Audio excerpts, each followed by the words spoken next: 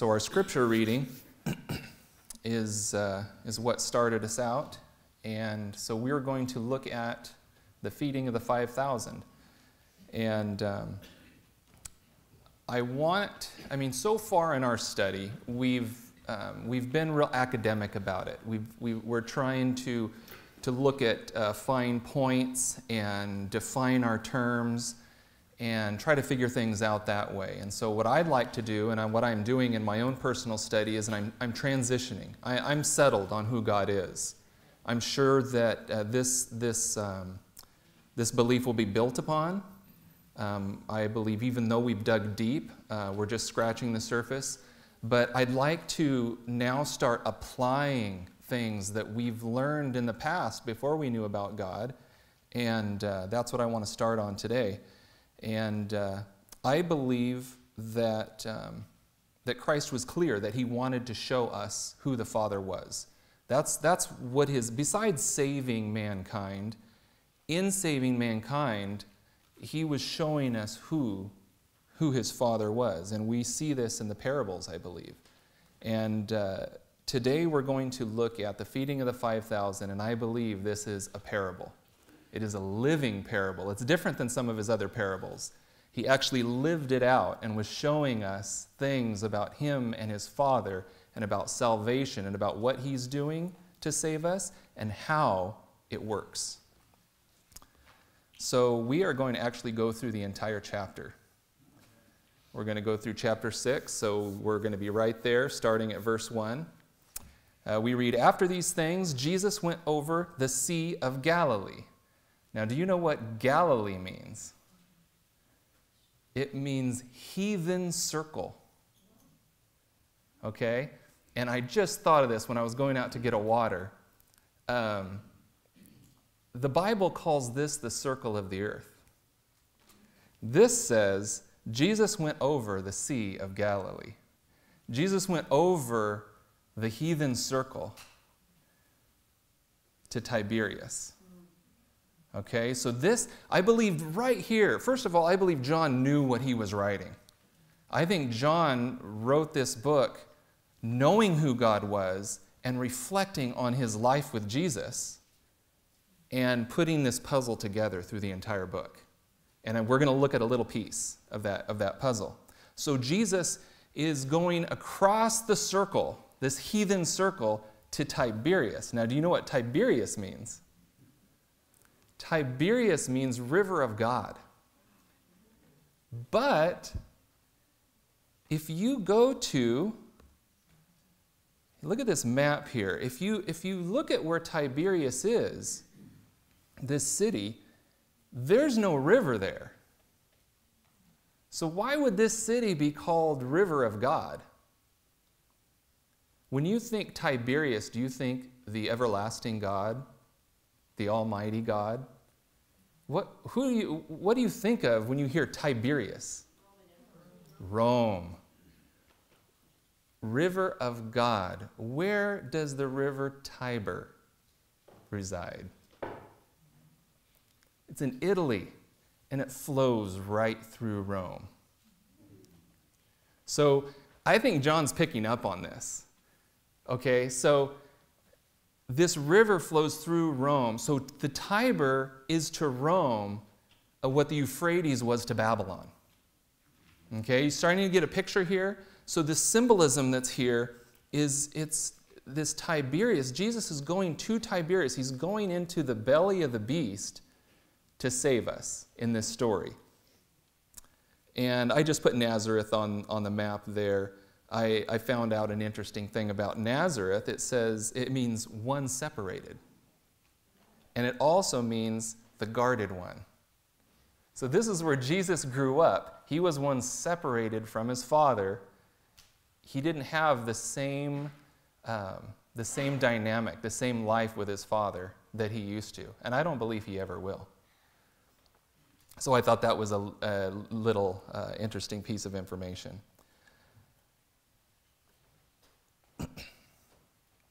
So we'll get right back into, into the text, verse 2. And a great multitude followed him because they saw his miracles. So, this group that followed him was not spiritually minded. They were there, they were literally there for the loaves and the fishes, right? They were there because they were, they were excited about what Jesus could do for them. Their focus was on Rome. And it's fitting. See, we're here in Tiberias, and it has a, a Roman under, undertone. And that's what their focus was on. And what they saw in Jesus was deliverance from Rome. Um, it's like uh, right now you turn on talk radio, and everyone wants deliverance from the government. Don't get messed up in that stuff. Don't get all tangled up in that because you're just gonna you're just gonna chase your tail, and your blood's gonna boil, and you're just gonna waste your time. Your confidence should not be in the government. It should be in the government of God. And so this is what Jesus is going to try to do. He's going to try to take people's focus off of that, off of the carnal, and, and to the spiritual. So they're following uh, because of the miracles which he did on them that were diseased. And Jesus went up into a mountain. Does that conjure up any ideas in your mind? I think of Sinai. So I, I believe there's allusions to Sinai through this story too. Went up, to the, uh, up into a mountain, and there he sat with his disciples. So you have Sinai, you have a story of elders and Moses going up to meet God in the mountain. I believe you have a very similar, um, similar structure here in, in this story. And the Passover, a feast of the Jews, I just wanted to stress that the Passover is a feast of the Jews, it still is, was nigh. Um, verse 5 When Jesus then lifted up his eyes and saw a great company come unto him. He saith to Philip, Whence shall we buy bread that these may eat? Um, one point I want to make uh, before we go on to the next verse is these allusions to Sinai. There's a couple points I want to bring up. One is that you have Moses at Sinai. Now, did Moses have to give anything up to deliver God's people. He had to give up everything. What was Moses in line to be? Pharaoh. Who was the most powerful power on the planet at that time? Okay? So Moses gave up everything. He gave all he had for God's people. All right? And so we're going to see that. We're going to we're to see that in the story here. Verse 6 And this he said to prove him, or to test him, for he himself knew what he would do. Philip answered him, Two hundred pennyworth of bread is not sufficient for them, that everyone may take a little. So, 200 pennyworth is probably somewhere around $15,000 in today's. You know, and when, when I thought about, I stopped and thought about this, I thought of the several years that I've gone to GYC. You have like between four and six, 7,000 people there, and they feed all those people in like an hour. And the money that it costs to feed all those people is astronomical and they do it quick and they do it efficiently. And so my mind kind of went to that and thought this was a logistical nightmare that they, that they had here. And a very expensive proposition, too, at the same time. All right, so next verse, um, verse 8. One of, the, one of his disciples, Andrew, Simon Peter's brother, saith unto him, There is a lad here and lad means little boy. Um, it also means um, servant and minister. So think of that. It, he's saying that, that uh, he calls him a little lad, um, which hath five barley loaves and two small fishes. But what are they among so many? So this lad who was a servant, gave up everything that he had for God's people. I think you have a little picture of Moses, and in the bigger picture, you have a picture of Christ in the lad. See, Christ is, Christ is playing the source in this parable, I believe. And you have this lad that is just giving everything he has for this situation, for, for the predicament that they're in. Verse 10 And Jesus said, Make the men sit down. Now, right here, something came rushing into my mind. And uh, I want to read a, um, a, a, couple verses in Isaiah that will lead into what came into my mind when, when I read that um, all these people were made to sit down. This, I'm going to read out of Isaiah chapter 9, verses 1 through 6. It says, Nevertheless, the dimness shall not be, be such as was in her vexation when at the first he lightly afflicted, afflicted the land of Zebulun and the land of Naphtali, and afterward did more grievously afflict her, afflict her by the way of the sea, beyond the Jordan, in Galilee of the nations. The people that walked in darkness have seen a great light.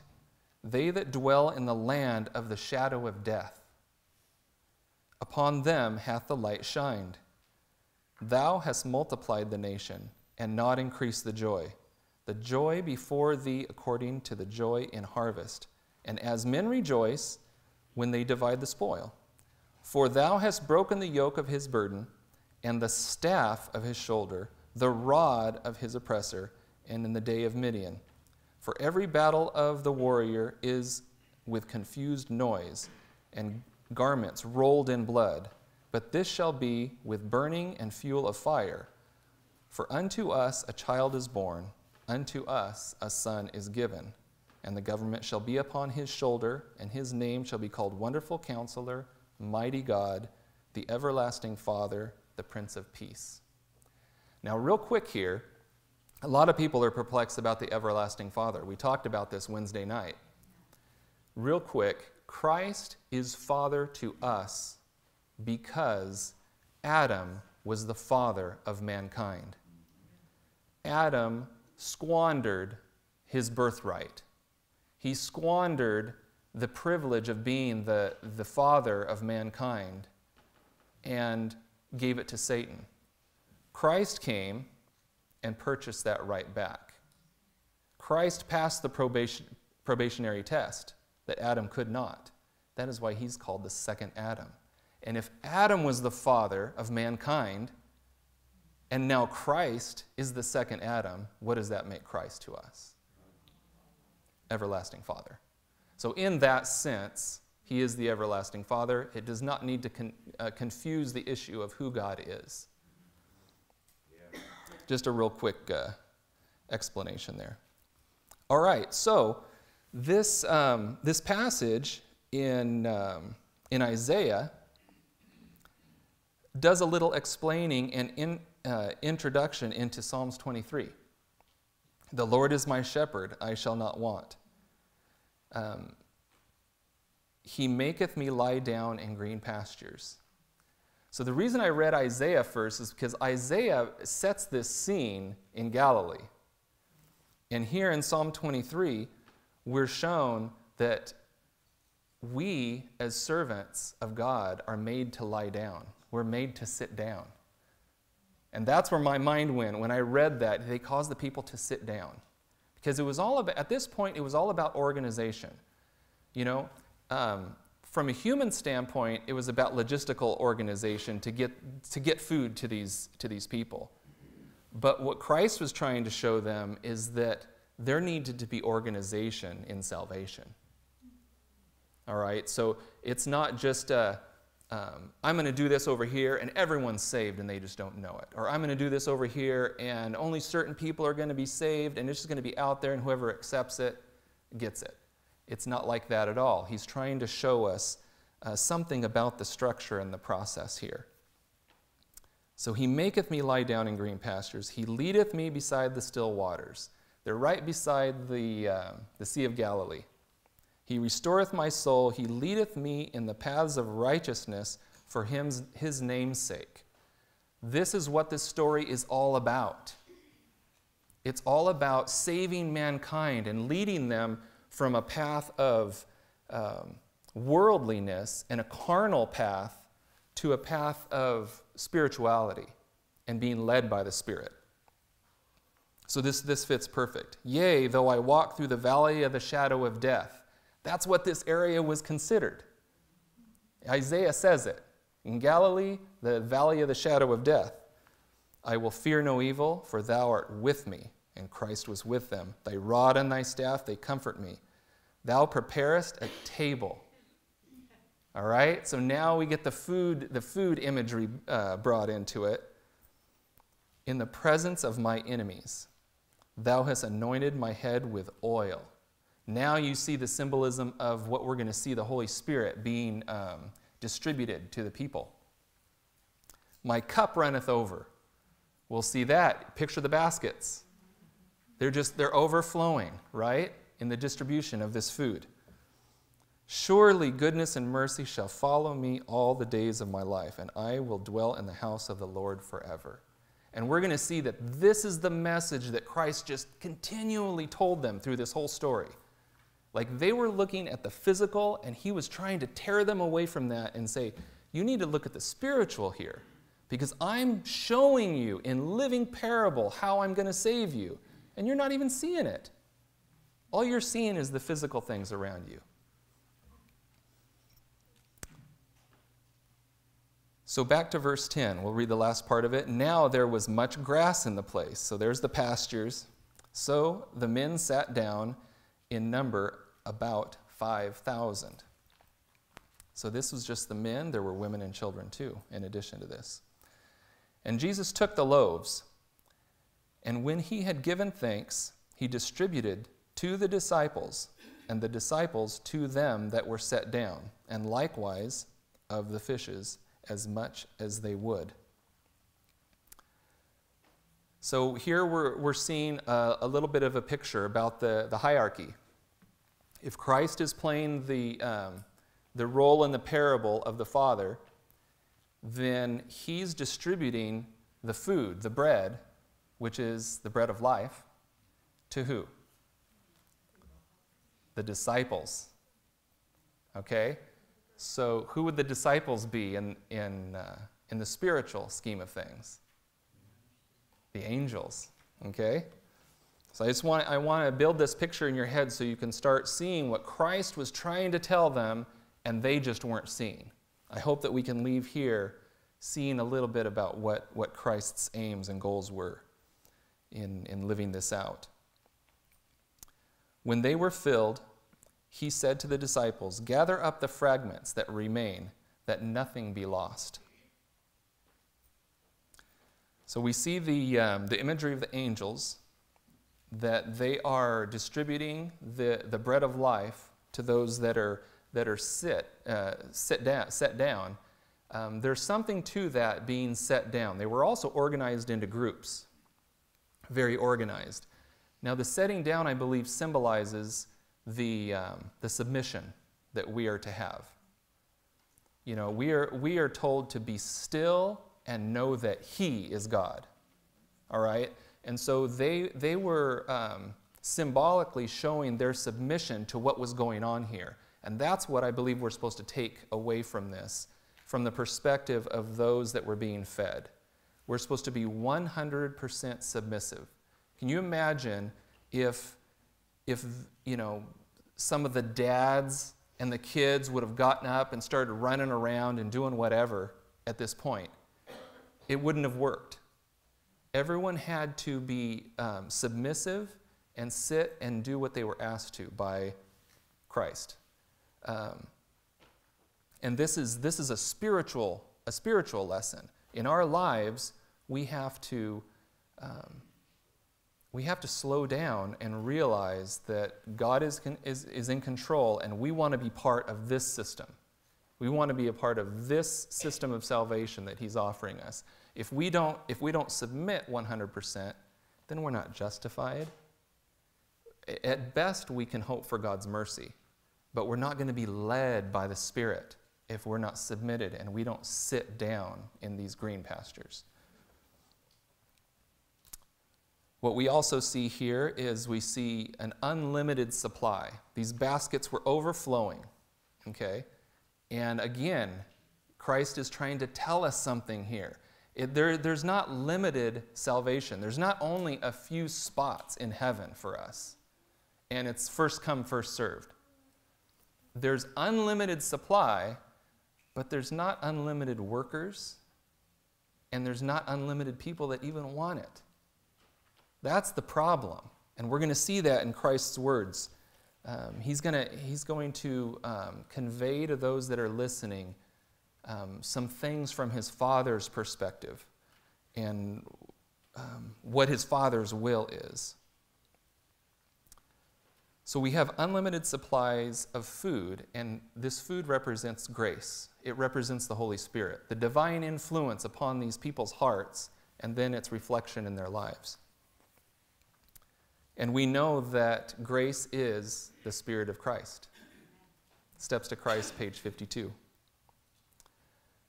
Now, I think it's interesting that um, Christ told them to gather up the extra. I thought about this for a while and it wasn't making a whole lot of sense, but then I thought of the story of the ten virgins. You have five foolish virgin, virgins and five wise. Now, the wise virgins, what did they have? They had the oil, okay? They had the bread. What about the foolish? They had they didn't. They wanted to buy oil. They wanted to borrow oil. What was the answer? We don't have any to give, give to you. It was all picked up. All the extra was picked up. There's, you can't just go and find oil laying on the ground. There's no extra oil. There's abundant supply if you ask and you submit. But they were sleeping, along with the others, but they were foolish because they didn't ask for the oil. They didn't do what was required for the oil. And so that makes sense that, that they didn't just leave this bread strewn all over the ground. They picked it up because it's not just for anybody, it's for those that submit and those that ask.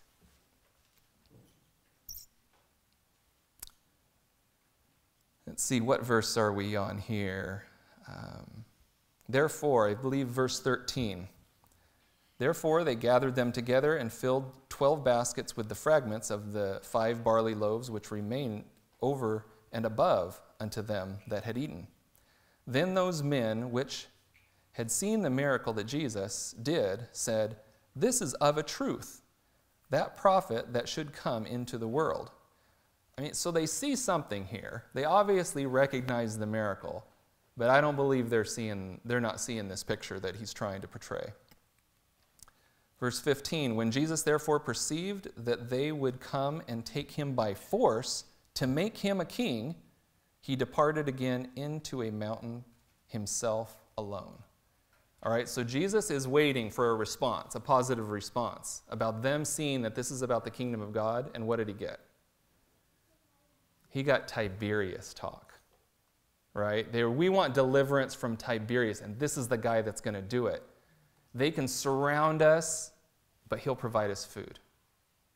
We can get sick, but he'll heal us. Their mind was still on the, the flesh, and he was trying to. Uh, pull their mind somewhere else and be focused on the Spirit. And it wasn't happening, so Christ withdrew. I'm going to read this quote from Review and Herald, and uh, I think it, it helps us with this, this picture. It says, The angels of God are ever moving up and down from earth to heaven and from heaven to earth. All the miracles of Christ performed for the afflict afflicted and suffering were by the power of God through the ministration of angels. So we see this picture here. The needs of the people were met by God, were met by Christ through the ministration of the disciples in this picture. But what, it, what I believe it is, it is uh, portraying here is the spiritual realm. You have, the, have God providing through the ministration of his angels for the people. Christ condescended to take humanity. And thus he unites his interests with the fallen sons and daughters of Adam here below. While his divine grasps the throne of God, and thus Christ opens the communication of man with God and God with man, all the blessings of God to man are through the ministration of the holy angels. So, this is, I believe, this is a summary of what we're looking at in this parable. Um, we read in, um, well, we just read that Christ condescended to take humanity. How long is that going to last? I believe it's going to last forever. I do not believe Christ went back and it's business as usual for him and his Father in their relationship. I believe that relationship is going to be different for eternity. In Desire of Ages, page 25, uh, she writes, Through eternal ages, he is linked with us. So I believe it's pretty clear that he's going to retain the scars, he's going to retain his humanity forever. Now, Christ did not have humanity before the incarnation. And so there is something different. We have to acknowledge that. And his condescension was um, almost infinite, Ellen White puts it. And so we can't even measure that condescension. And so when we try to tell people that, yeah, Christ was given back everything that he had before, I don't, I don't see that that's accurate. I don't think I can say that um, because I believe his condescension was, was permanent in many ways. Okay, back to uh, chapter 6 of John, verse 16. And when even was come, his disciples went down to the sea, so they're going back into the sea, and entered into a ship. Um, what uh, we learned several weeks ago, what is the ship? You know, we're always told, stay with the ship. And most people say the ship is the organization, right? Um, Ellen White doesn't say that. Ellen White says, uh, she calls it the gospel ship. Okay? So the disciples had a ship, and they had a gospel, it's a gospel ship, okay? This is, um, this is how they moved forward, and I think this ship is going to play a little, a little role here too. They entered into a ship and went over the sea toward Capernaum. Now we have another name of another city. Guess what the name Capernaum means? So think about this. Christ is in um, Tiberias, trying to pull them out of, of Babylon, of Tiberias, the Roman uh, river from God, okay? See, now Christ, Christ is trying to teach us about this river that flows from the Father, right? But they're focused on the river that flows from the Roman God. The Tiber is in Rome. The Tiber flows through Rome, okay? So there's two, there's two things we can focus on. There's two rivers. There's two streams of life. And one is a stream of life, and the other is the real stream of life. So they're going from Tiberias to Capernaum. Any guess on what Capernaum means? It means village of comfort. I think, I think John knew just what he was writing when he was, when he was uh, telling this story. And he was probably just laughing inside at all the rich symbolism that's in this story and all that the readers were going to potentially get if they dug deep enough. All right, so they entered a ship and went over to the sea toward Capernaum, and it was now dark, and Jesus was not come to them. So they left without Jesus.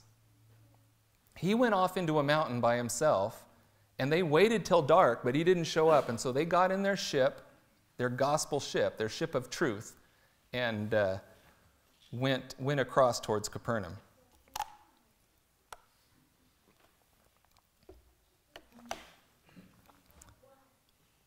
And the sea, let's see, we're at verse 18. And the sea arose by reason of a great wind that blew. Now, does that bring anything to mind? They're, they're going towards Capernaum, Capernaum, the village of comfort, and a great wind started blowing. My mind goes to Acts. I don't know where your mind goes. So when they had rowed about five and twenty or thirty furlongs,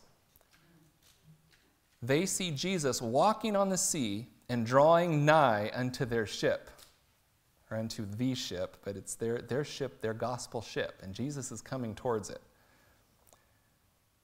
And they were afraid, but he saith unto them, It is I, be not afraid. Now, look, I, here's the map again.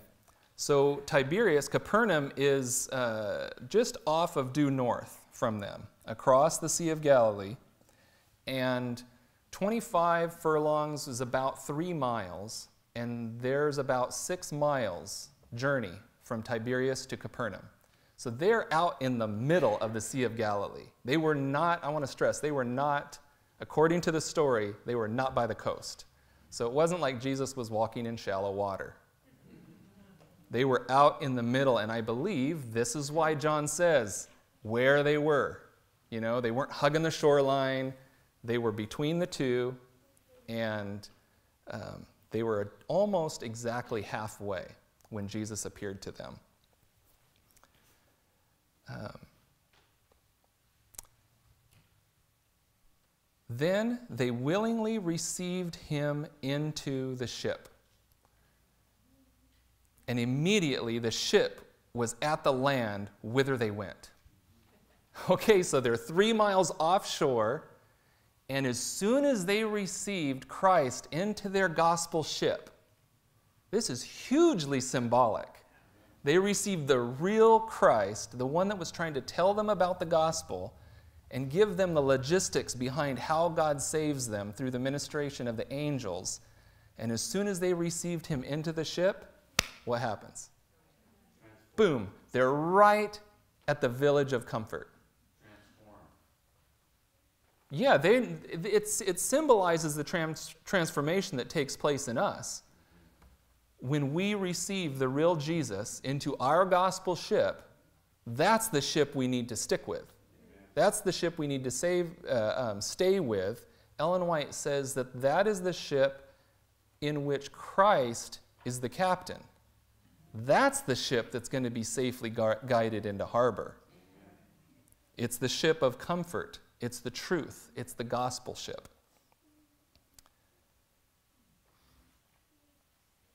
Let's see. Um, another thing that's interesting about this, a, as I read through this, my mind was just taken all over the Bible. But their ship was three miles out to sea. And when they, when they invited Christ into the ship, they appeared at Capernaum. So, has that ever happened before in another story? Philip and the Ethiopian, right? It says he was taken by the Spirit to another city. I believe that's what's happening here. We have the same, the same, uh, we have Christ. Christ is the Holy Spirit. We don't want the Spirit of another. We want Christ. We want the Holy Spirit, which is Jesus Christ. So again, we have we have this picture that um, I think was repeated in a sense, this same phenomenon where the Spirit can take you where He wants you to be in that story of, um, of Philip. In uh, Review and Herald, 1894, January 2nd, uh, Ellen White writes God has not placed those of you who imagine to see faults in others and in the work to guide the ship of the gospel into the harbor. The Lord Himself is at the helm. And so this is how she, she um, uses the ship uh, terminology in her own writings.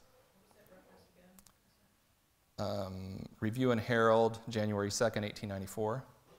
And if I give any references and you don't catch them, I can give them to you after. Verse 22 The day following, when the disciples which stood on the other side of the sea saw that there was none other boat there, save the one hereunto his disciples were entered, and that Jesus went not with his, disciples into the boat, but that his disciples were gone away alone.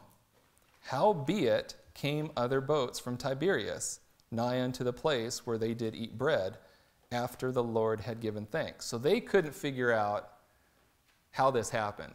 How did Jesus make it here as fast as his disciples when he didn't get in the boat? So they're perplexed. They see miraculous things happen, or they saw these miracles happening, but their minds were still on the carnal. When the people therefore saw that Jesus was not there, neither his disciples, they also took shipping and came to Capernaum seeking for Jesus. So they come to the village of comfort seeking Jesus. And when they had found him on the other side of the sea, they said unto him, Rabbi, when camest thou hither? So they still wanted to know how he got there. They didn't want to, they didn't want to know what he was trying to tell them when he fed them. They just wanted to know, hey, how do you do this? How do you do this trick where you just appear? If you, if you tell us that, then we could probably defeat our enemies. Um, we could, we could uh, get out from under this oppression that Rome is, um, is inflicting on us. And Jesus answered, answered them and said, Verily, verily, I say unto you, ye seek me not because ye saw the miracles, but because ye did eat of the loaves and were filled. Labor not for the meat which perisheth, but for the meat which endureth unto everlasting life, which the Son of Man shall give unto you. For him, God the Father has sealed. All right, so again, he, for the rest of the chapter, he is just going to pound into them that I am not talking about physical things here. I'm talking about spiritual things here. And you don't understand who I am. And if you don't understand who I am, you don't know the Father. And so, right here, he says something that intrigues them. And I don't know exactly what they thought about being sealed, but they were interested in this because he said the Father had sealed him. Then said they unto him, What shall we do that we might work the works of God? They're like, Well, this sealing must have something to do with him being able to make food multiply and being able to travel across the sea without being in a boat? What can we, what, how can we do these works so that we can do what you do, these miracles? Again, their minds were not where Christ wanted them. Jesus answered and said unto them, This is the work of God, that ye believe on him who he, who he hath sent. It's like, slow down Get your mind out of the gutter and focus on me. If you know me, you will, you'll know how these things work. You will realize how this all works. They said, therefore, unto him, What sign showest thou then, that we may see and believe thee? What dost thou work? So it's like it doesn't matter what he says, they still want to know how can, how can we do this? How can we do this too? Our fathers did eat manna in the desert, as it is written, He gave them bread from heaven to eat. So then they, they're uh, bragging a little bit about their heritage. Like, yeah, we, we have miracles in our heritage too, and we want to get back to that. So tell us how you're doing this, and then we can have that again, because you kind of did something like what Moses did. Then Jesus said unto them, Verily, verily, I say unto you, Moses gave you not the bread from heaven, but my Father giveth you the true bread from heaven. So, there again, focused on the carnal, he's trying to pull their mind out from that. Verse 33 For the bread of God is he which cometh down from heaven and giveth light unto the world, life unto the world. Then Jesus said unto him, Lord, Oh no, then, then said they unto him, Lord, evermore give us this bread. So again, they don't care what he's saying, they just want the bread. Okay, if bread's the way, if bread is the way I can do miracles, then give me the bread. You know, and then, I'll, then we can do the miracles. And Jesus said unto them, I am the bread of life. They're asking for the bread, and the bread's right in front of them. I am the bread of life. He that cometh to me shall never hunger. That reminds me of the women at the well. Shall never thirst, right? speaking of the same thing. We're just using different, um, we're using different, uh, different symbols here. You got the bread and you have the water, same thing. And he that believeth on me shall never thirst. Verse 36 But I say unto you that ye also have seen me and believe not. All that the Father giveth me shall come to me, and him that cometh to me I will in no wise cast out. So now he's focusing on the Father's involvement in this. And what he's saying is there are individuals that the Father has procured because they have sat down and submitted and received the bread that is being distributed. Okay? And Christ is saying, after they have received this bread that has been distributed, they are His. Now He is the Father of them. He's the second Adam to them. And He says, These ones that come to me, I will not cast out. So again, he's basically going over the same ground he went over uh, on the mountain. Verse 39. And this is the Father's will. So now he's, now he's uh, um, sharing with them what the Father desires for them. And this is the Father's will which hath sent me, that of all which he hath given me, I should lose nothing but should raise it up again at the last day.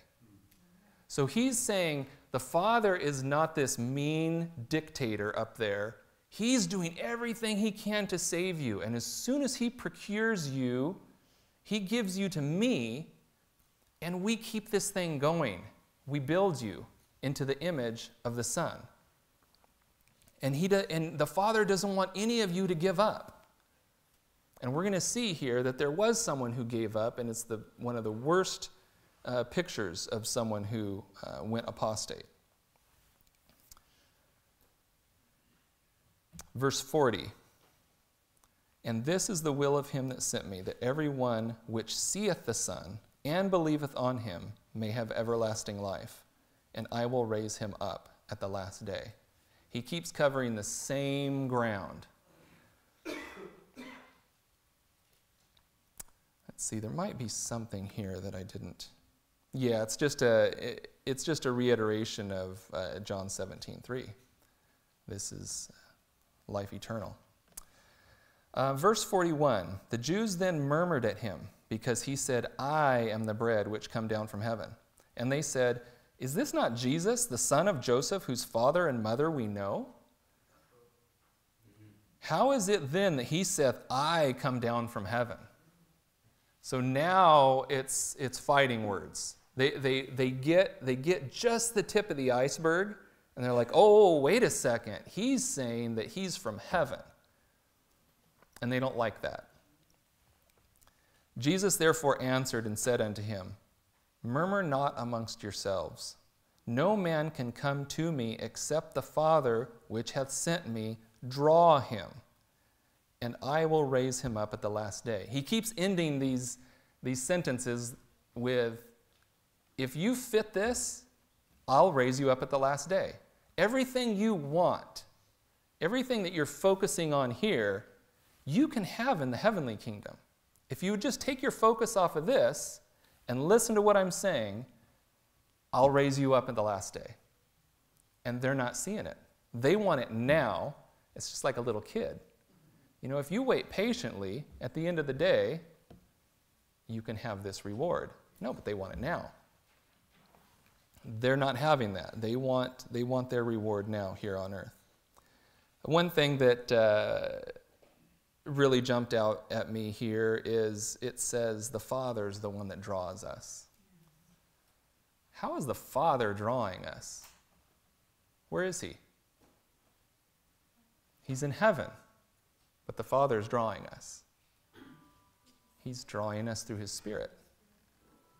Okay, and so it's clear here the Father is the one that draws. Once He gets us, once we repent, once we ask forgiveness for our sins, then the cleansing of all unrighteousness starts. Verse 45 It is written in the prophets, and they shall be all taught of God. Every, every man, therefore, hath heard and hath learned of the Father cometh unto me. Not any man that has seen the Father, save he which is of God, he hath seen the Father. Verily, verily, I say unto you, he that believeth on me hath everlasting life. I am the bread of life. Your fathers did eat manna in the wilderness and are dead. And so he, Jesus, Jesus keeps that on a shelf in his mind that they were bragging about Sinai. And he brings it into this explanation. He says, Yeah, you're right. You did, your fathers did eat manna, but you're not seeing the picture, the big picture. You're seeing that their bellies were filled. And if that's all you're going to see, what I have for you is this message Your fathers are dead.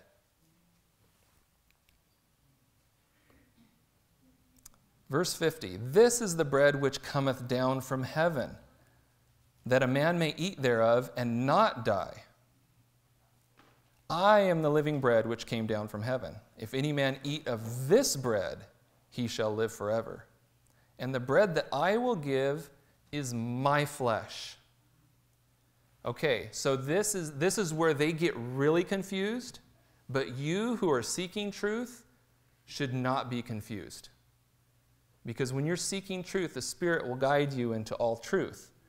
And so his flesh goes it goes way beyond what they're seeing here. The flesh that Christ came in was fallen human flesh. And that's significant because this is what he has to give us. Okay? So he has fallen human flesh that is 100% subdued by the Spirit and is overcoming sin continually. 100% submitted, but 100% obedient. That's what he gives us. He says, The bread that I will give you is my flesh. That's the gift. This is the donation that he gave at Pentecost. It's overcoming power in fallen flesh. The, the, the, nature of Christ's issue becomes so important when you get to this point in your study. Because if you believe Christ did not come in fallen flesh, then he has nothing for you. Not on this earth. You'd have to subscribe to the magic wand theory that says we'll be sinning till Jesus comes, and then he'll wave the wand, and then he will give us this unfallen flesh that he had while he was here on earth. That's not the way it works. This is the flesh that he wants to give us, the bread of life, which I will give for the life of the world. This is the only thing that can give us new life is Christ's fallen flesh in humanity that overcomes sin. The Jews, therefore, strove, strove amongst them, among themselves, saying, How can this man give us his flesh to eat? Like they've totally checked out at this point. All right? So they're just thinking, this is sick. This guy is sick. But they should be, they should be eating this up. they should be hanging on every word and seeing all, like they have all these stories in their mind. They have Sinai, they know what happened there. They should be putting all these pieces together, and they're not. Then Jesus said unto them, Verily, verily, I say unto you, except ye eat the flesh of the Son of Man and drink his blood, ye have no life in you. I, they, if they weren't gone before, they're totally gone now. Okay? This flesh is the righteousness that he gives us. It's that robe of righteousness that he wove while here on earth that was actually being woven in heaven for him through his life. And he gives that to us as a gift. Now, the flesh is that righteousness that allows us to live a righteous life. That's what saves us. The blood, the drinking of the blood, that is what that, that's symbolized by his death on the cross, the shed blood. That does something different for us. His death on the cross gave us a life of probation. And that life of probation is that one that Adam failed at. He was not supposed to eat of the tree of the knowledge of good and evil.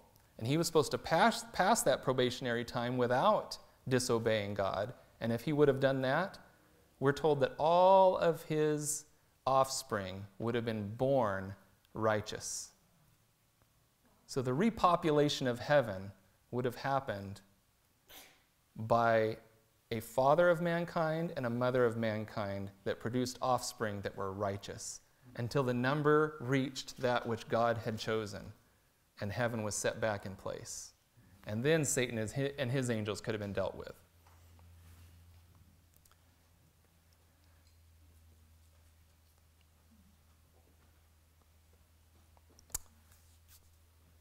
In Romans 5, verse 10, we read, For if when we were enemies, we were reconciled to God by the death of his Son. So, this reconciliation spoken of here is not justification, it's not salvation. It is bringing us back in so that we don't have to be destroyed immediately. Ellen, what Ellen White says about um, when Adam and Eve uh, sinned, she asked the question, the rhetor- or not, not even rhetorical question, she was going to answer it right after, but she says, Why were they not destroyed at once? She says, Because um, an offering was found, and Christ stood between the living and the dead. And so it was not God's, and she says in another place, it wasn't God's intention to destroy them immediately, but that was the rule. His intention was to save him, but nobody knew that but God. So what happened with the death of Christ and the promise that he would come and die was that we were set back on level, a level playing field, and we now had the life of probation that Adam was afforded. And a life of probation that was given to Christ. Christ had the same life of probation given to him in the incarnation. And so, this is what we're talking about when we're talking about reconciliation. We were reconciled to God so that we could now prove to him whether we were going to be loyal to him or loyal to Satan. And after this, uh, we read in Romans, much more being reconciled. So we, we were given this life of probation, we shall be saved by his life. That's the bread. That's the water. That's the transformative power. And when we first accept that, we're justified. And we remain justified as we remain obedient. Reconciliation is different than salvation. Verse 54 Whoso eateth my flesh and drinketh my blood hath eternal life, and I will raise him up at the last day. Uh, and you think Christ is getting tired of repeating himself?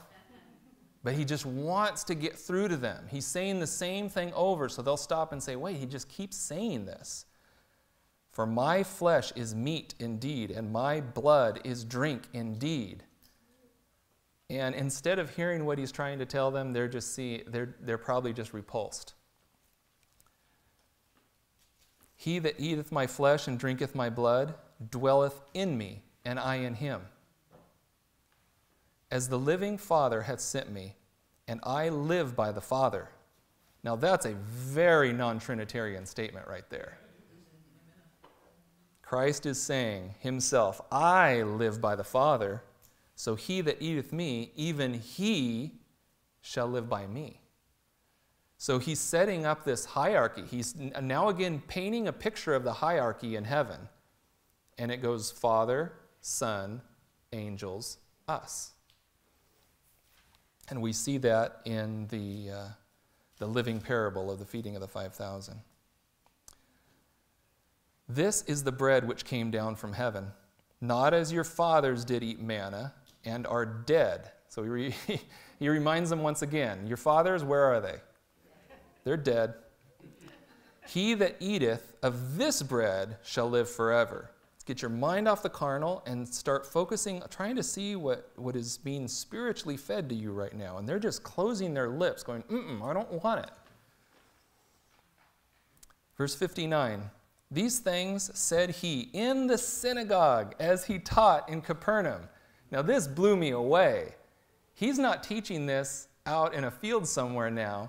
He made his way into the synagogue and he's giving these truths about who God is. That's how you know your days are numbered. if you're in the synagogue preaching this message, you won't be there long. So he's teaching this in Capernaum. He's giving the comfort message in the village of comfort now. Many, therefore, of his disciples, when they had heard this, said, This is a hard saying. Who can hear it? When Jesus knew in himself that his disciples murmured at it. So even his disciples were saying, This, I don't know about this. He said unto them, Does this offend you? What and if ye shall see the Son of Man ascend up where he was before? It is the Spirit that quickeneth, the flesh profiteth nothing. The words that I speak unto you, they are spirit and they are life. So he, he's, being, he's getting more and more blunt now. He's speaking to his disciples. It sounds like it's almost a quiet conversation between him and his disciples. If, if not that, everyone else had, had left by this time, or most. Um, let's see, there might have been something here. Yeah, I thought it was uh, interesting. It says, The words that I speak unto you. They are spirit and they are life. For us, these words are in book form now. So it's the word that speaks to us. And everything written in this book is spiritual. And if you're not spiritually minded, if you're carnally minded, this is just a book of stories. It's just words on a page. But when you have God's Spirit living in you, then these words become much more. You can understand them. He becomes the teacher of righteousness for you. And he will teach you the things that are written written here. That's why they are spirit and they are life. Verse 64, but there are some of you that believe not. For Jesus knew from the beginning who they were that believed not and who should betray him. And he said, Therefore I say I said unto you that no man can come unto me except it were given him unto my fa- un- given unto him of my Father. For that time many of his disciples went back and walked with walked no more with him. So this was he he had said too much at this point for them. Then said Jesus unto the twelve, Will ye also go away? Then Simon Peter answered him and said, Lord, to whom shall we go? Thou hast the words of eternal life. And we believe and are sure that thou art the, that Christ, the Son of the living God. Now that's truth. Now, whether or not Peter was feeling it really, or if he was just being Peter, not sure. Jesus answered them, Have not I chosen you twelve? And one of you is a devil. He spake of Judas Iscariot, the son of Simon, for he it was that should betray him, being one of the twelve.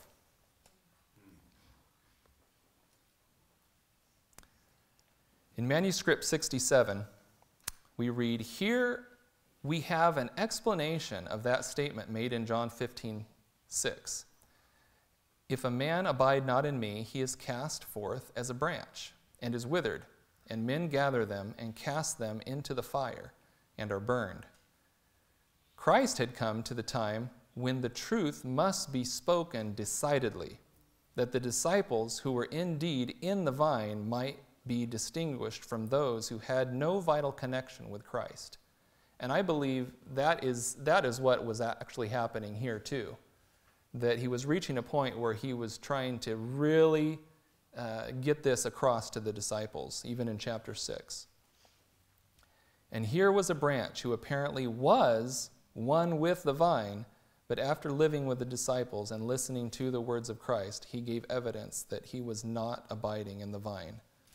Have not I chosen you twelve, said Christ, and one of you is a devil. And so he's talking about Judas here.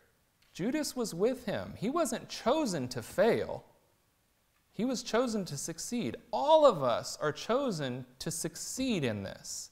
in salvation. And, and Christ said over and over, It's my Father's will that none of you are lost. Every one of you that He's given to me, I'm not going to cast out, but you have to submit. You have to lie down in the green pasture and know that I am God and submit to this plan I have for you because I want to make you into something else. I want to make you into the Jesus Christ that you read about and that you're experiencing uh, through a relationship with Him.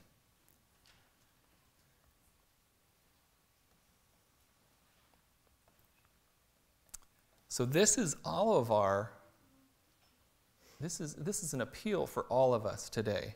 And I'm going to close with this. It's in, found in Isaiah chapter 55. And it's just I'm just going to read verses 1 through 3 here. And uh, so I'll, I'll read it. Ho, every one that thirsteth, come ye to the waters. And we see what the waters are clearly now, right?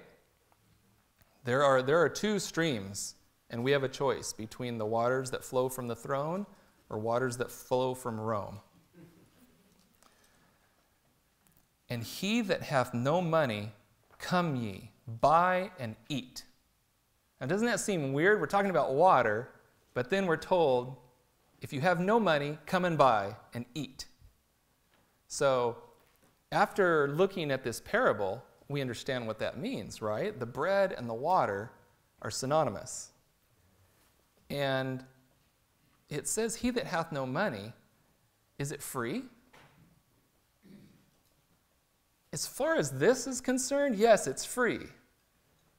But you have to give everything for this. So, in that sense, it's not free. You have to put all on the altar. You have to give everything that's in your lunchbox. And Christ gave everything for us to save us he asks us to give everything of ours so he can replace his righteousness in place of ours, which is filthy rags. Yea, come, buy wine and milk without money and without price. Wherefore do ye spend money for that which is not bread, and your labor for that which satisfieth not? Hearken diligently unto me and eat ye that which is good. And let, let your soul delight itself in fatness. Incline your ear and come unto me. Hear, and your soul shall live. So that's my appeal to you today. And um, I, will, I will continue to go over some of these parables and try to dig out these truths. And um, as you go throughout your week this week, I, I appeal to you to, um, to lay down and picture that story. Lay down in those green pastures and sit and ask God to do for you spiritually what He did for the 5,000 physically.